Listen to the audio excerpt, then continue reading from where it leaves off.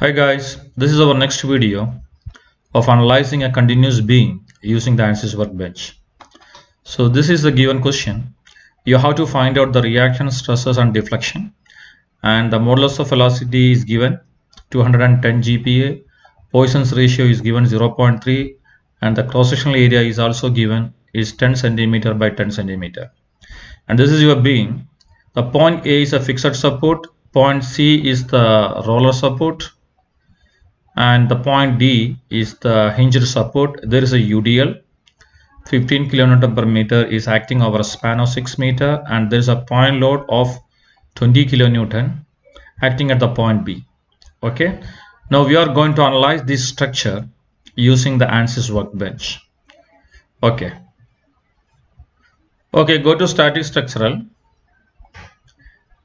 engineering data and what is the E value? E value is given as a 210 GPa. So, but here the default value is a different one. Default value is uh, 200 GPa, but so I will use a new material. Let I will put steel 1. Okay.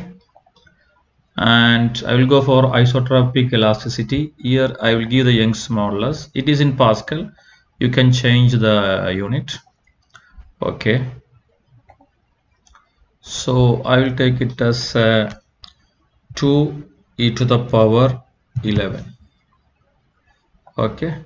Because it's in the Pascal Newton per meter. Uh, this is I'm sorry this one is uh, 2.1 okay.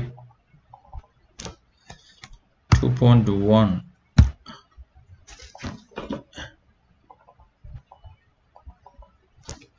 2.1 e to the power 11 yes.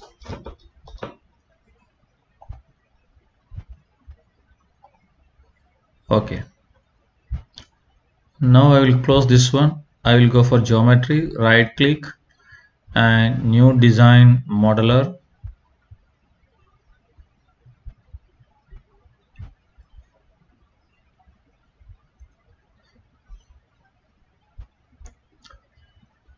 yes we'll go for xy plane and look at.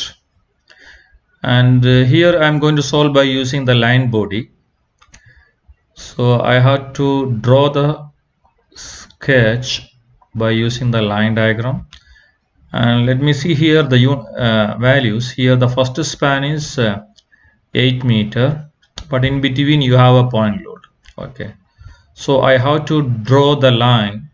First 3 meter then 5 meter then afterwards 6 meter. That means you have to draw the three lines. Okay. So what about the units? I will go for the same units meter. And I don't want to set here the grid also. Grid is uh, up to you. If you want you can put the grid but I don't want here. So I will draw the line. So I am going to draw the first line. Then I will go the second one then third one.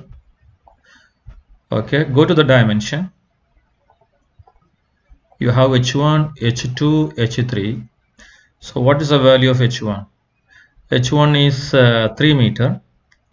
So i will write here 3 meter. H2 is uh, 5 and h3 is 6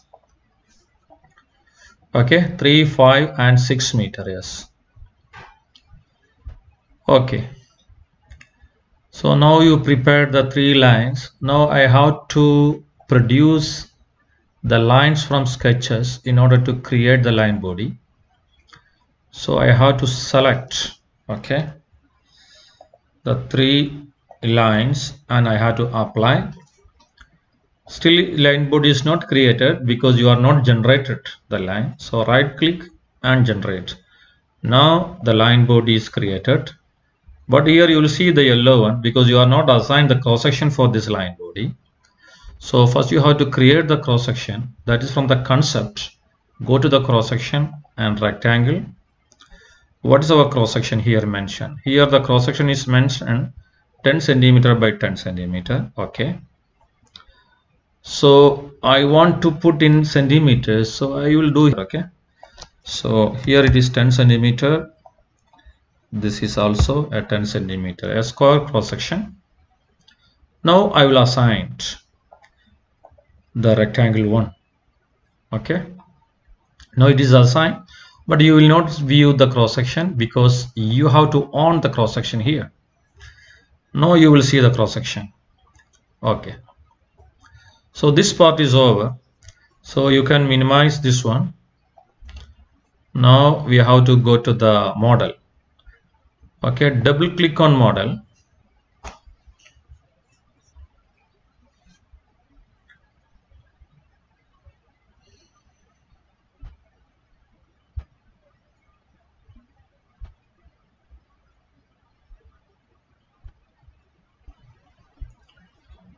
Okay so here uh, you have to see the line body. In the line body please make sure we use the same material.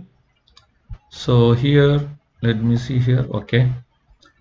So this is structural steel. Actually we provided steel one okay. No it's okay. We provide the steel one. And mesh you have to generate the mesh. So when you right click and generate mesh here the mesh is created now but this uh, element size is on the default values. So if you want you can change the size of the element. Okay in this case we don't want to change it. This is okay with us. So now you have to go for applying the boundary condition. For that one go to static structural and right click so what is the boundary condition? First we will apply our uh, supports the point A is a fixed support point C is the roller support and point D is a hinged support okay. So I will go here. I will go first the fixed support okay. And this one I will change it yes. So this point is a fixed support so I selected the vertex here apply. Fixed support is uh, created next one is the roller support.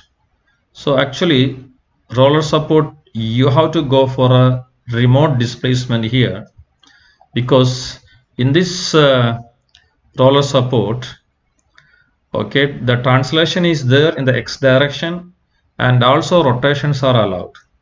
So I will go here. So x direction okay free. It can move in x direction because it's a roller support. But y component there is no uh, movement. There is no translation in y and z so we have to make it zero. And now what about the rotation? Uh, rotation see here rotation is zero. X-axis it cannot rotate with respect to x-axis. It cannot rotate to y-axis also because this is uh, in xy plane it is rotating with respect to z-axis only okay? It will rotate about this z-axis okay? Now you have to select which point you are providing the roller support. Point C okay? So this is your point C.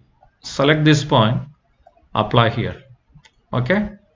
So here you will see uh, remote displacement uh, x direction it is free to move but y and z direction there is no translation. So it is zero. And rotation x direction and y direction there is no rotation but it will rotate with respect to z axis. That's why it is zero here. Okay. And also you will see this uh, point is 8 meter from the origin. So this is your origin. From this origin okay this is 8 meter. So at this 8 meter these are the components and the rotations. Okay. So let me see here. Yes so this is 8 meter this is 3 and this is 5 so this point C is 8 8 meter from the origin. So this is your origin. Okay this will be your origin. So I will make it as a 0 0 0 yes. Now what is next? Next support is uh, next support is the point D. It is a hinged support so again I had to go for static structural. I had to right click. Actually you will not find out here hinged support. So you can go for a simply supported. In simply supported rotations are allowed but there is no translation. Okay so I will use this uh, simply supported. So this is your simply supported point. I had to apply. Okay so now we apply the support conditions. Point A is a fixed support point B is a remote displacement and point C the is a simply supported next you have to apply the forces. So I have to go to the force here. I will take the force. What is the force?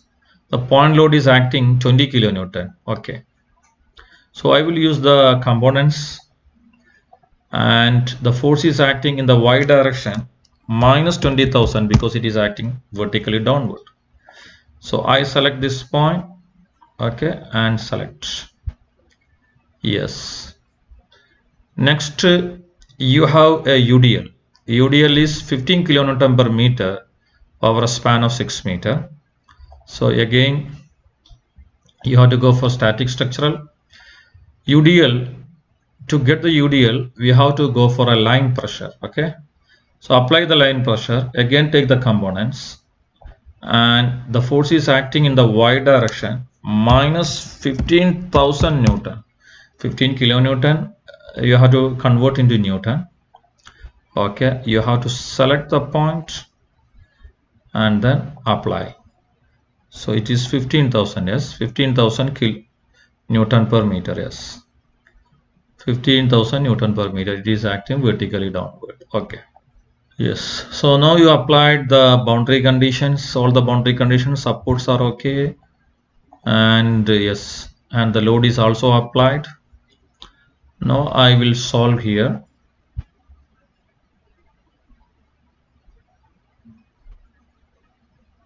Yes. Now you have to go for solution. So what are the things you have to calculate? So I want to calculate the total deformation okay. And also if you want you can also include the directional deformation. Directional deformation I need in y-axis. Deflection in the y direction only. Okay. So I can change the orientation to the y-axis. Yes. Now I need the stresses so I will go for a beam tool. Okay. And also I need the reactions. So go to the probe where you have force reaction at the fixed support. And also the reaction is required. Uh, remote displacement and also simply supported. Okay. Next we have here the another thing I want to do here the shear force and bending moment diagram also you can draw it. So for that one you have to go to insert and under the beam results you have the shear and moment diagram. Click on this one. But you have to create the path. For drawing the shear force and bending moment diagram you have to create a path for that one go to model uh, right click insert then under the constraint geometry just click on path. So now the path is created and this path yes it is path type you have to put the edges and select the edge okay? So I am selecting the edges yes. So I selected the edges now apply. So we have two edges actually yes.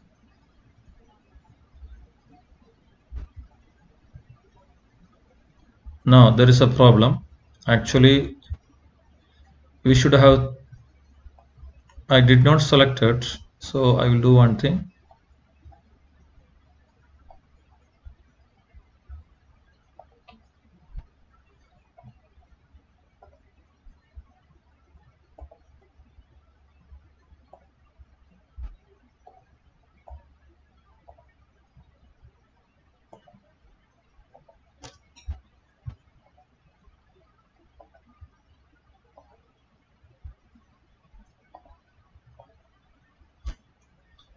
yes. Now we have three edges okay? Three edges are there. So now it is created the path is created from 1 to 2 yes. Now you can go for a total shear force and bending moment. So here okay you will go for a path. And here actually we are looking for the directional shear and moment diagram in y direction. So click on this one. Okay. Now everything is okay. So now you have the reactions you have the stresses and we have the deformation and shear force diagram. Okay. Even uh, sometimes if you want to be uh, combine okay you can here the change the type of the stress also. If you want you can you will have the bending stress. Okay. For example i will go for here the maximum bending stress and here i will go for the minimum bending stress. Okay. Now right click and evaluate all results. Okay. Yes. Now it is finished. Now you will see the results. So let me see the result here first. Total deformation. So this is a deformed shape. Okay. This is a deformed shape and you will see here the values the total deformation values. You can also use the probe if you want to find out the deformation at a particular point. Okay here is a maximum deformation. So around see here this is uh, please remember this is in meters. So how much millimeter? Oh it is coming and 91 millimeter. Okay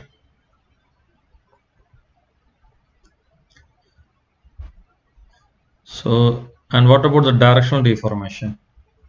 This is a directional deformation. Yes. Now what about your uh, bending stress? You can see the bending stress. Okay definitely the bending stress will be maximum at the point where you have the maximum moment. Okay this is the point where you have the maximum moment. So the bending stress will be here maximum. And these are the reactions. So you will see the reactions here yes. So this is in y direction reaction here.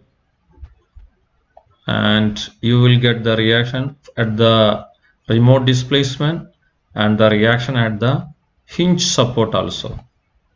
What's the reaction at the hinge support? It will be written here. Yes. This is the value. That means around 38.27 kilonewton is the reaction okay. Okay. So here total this is a total deformation and by using the probe you can find out the deflection at any required point. Okay. And the directional deformation this is in y-axis and this is a shear force bending diagram. Okay. So this uh, shear force bending diagram you can see here. Yes so the first one is a shear force diagram and the second one is the bending moment diagram.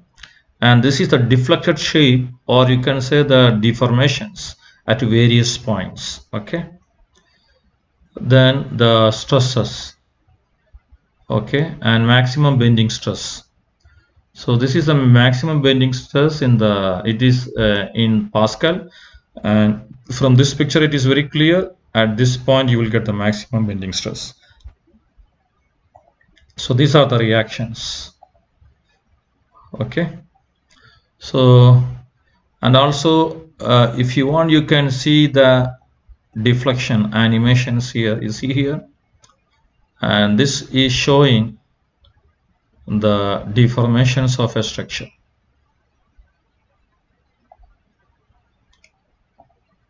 Yes so this point is a fixed support. And in between you have a roller support and this is a hinge support. Okay. And okay then. And that's all about this uh, analysis of this uh, continuous beam and using this ANSYS workbench. Okay then. Thank you